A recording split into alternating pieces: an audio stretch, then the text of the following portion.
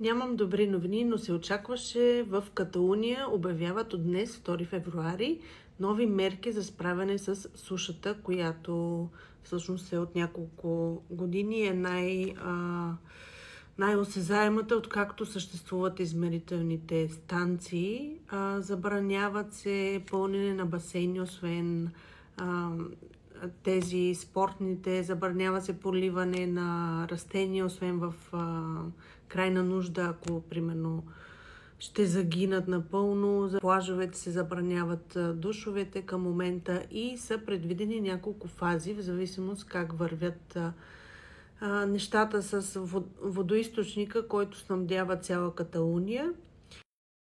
За тези, които не спазват мерките и, например, си пълнят басейна в вилата, ще има и глоби от 50 до 3000 евро. На тази карта се виждат най-засегнатите райони, а в сайта съм обобщила мерките, подробности и кои са фазите, които ще влязат в сила.